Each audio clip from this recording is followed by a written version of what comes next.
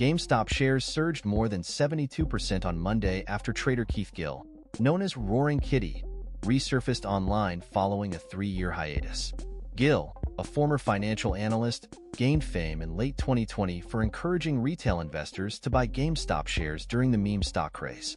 Despite facing losses and a lawsuit in 2021, Gill's return sparked renewed interest in the video game retailer.